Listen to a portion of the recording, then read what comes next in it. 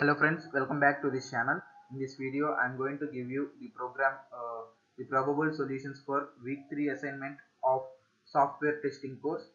So friends please watch the video till the end uh, because if i make any changes in between the video you may not be able to note those changes.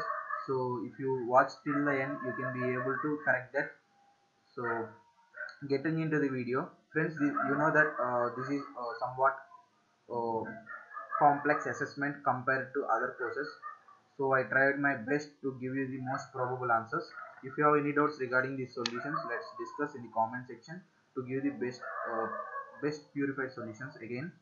So i hope most of these are correct. So let's get into the video. First question. Which of the following types of program models is normally used to design the integration test plan in software project deploying procedural development? The probable answer is option C, structure chart. Guys, this is complex because uh, these have these have different type of terminology uh, compared to other uh, similar terminology courses. So it will become some type of complex and also the questions are not directly related to the lecture everything is not mentioned in the lecture unlike other courses the other courses will mention uh, what they have said and this is somewhat extension to the lecture videos. So i have given my best to give the answers. Moving on to second question. For a given function the computed McCabe's cyclometric complexity metric does not correlated with which of the following? So for second question the probable answer is option c number of lines of code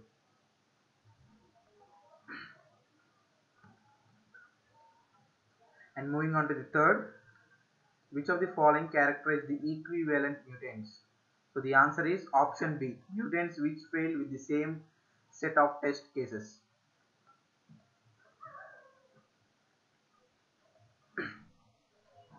And fourth question.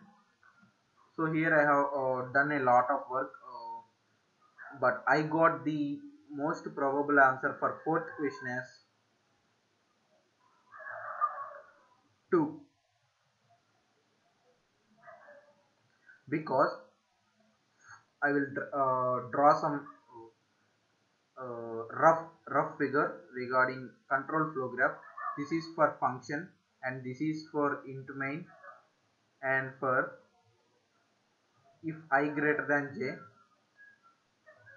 Guys here they did not uh, clearly mention that uh, this if loop uh, if if condition is the nested if or uh, the other condition they did not mention clearly. In the previous assessments uh, before years they have mentioned clearly but here i did not get, got the clarity. If you know anyone please uh, comment here. Phi greater than j then m equals j plus k. And in that there will be two cases. If i greater than k one condition and the other one is k uh, that one is else condition. So for this we have m equal to i for this we have uh, m equal to k. So how many nodes? 1 2 3 4 5 6 7 8 we know that edges minus nodes plus 2 gives the complexity.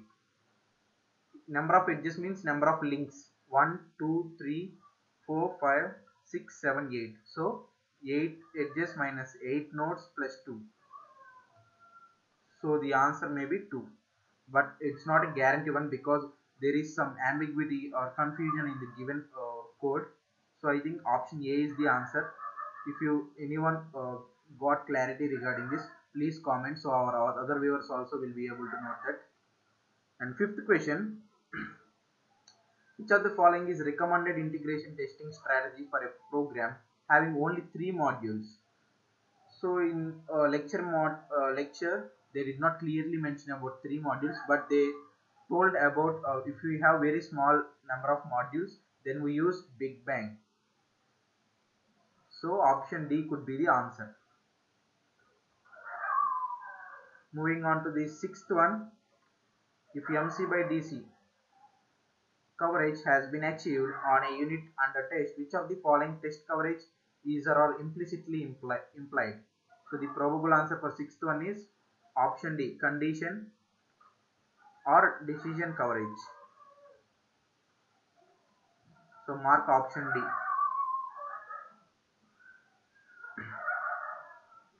Moving on to seventh one.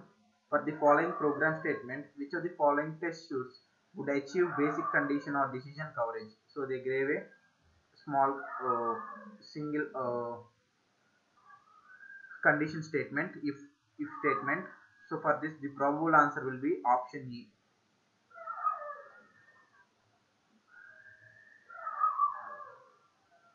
Moving on to eighth one, they gave a uh, condition statement they're asking how many at least how many test cases are required for this MC by DC coverage?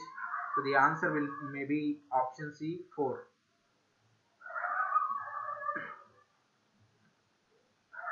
ninth question. Why is the all path testing strategy rarely used in practice? So the answer is option A. Too many test cases are required to be executed.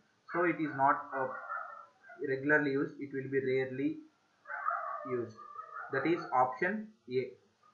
Moving on to the final question that is 10th one. Which of the following are true for the competent programmer hypothesis used in mutation testing literature? The answer will be option A. Mutants corresponding to only simple programming bugs need to be generated as competent programmers make only simple mistakes. The option could be option A. So mark option A as the correct answer. So friends, these are the probable solutions for the week 3 of software testing course. Hope this video is helpful for you. If you feel the same, please subscribe our channel, like this video and share to your friends. If, uh, if you know the exact answers regarding this, uh, please comment in the comment section so we can discuss and give the best answers.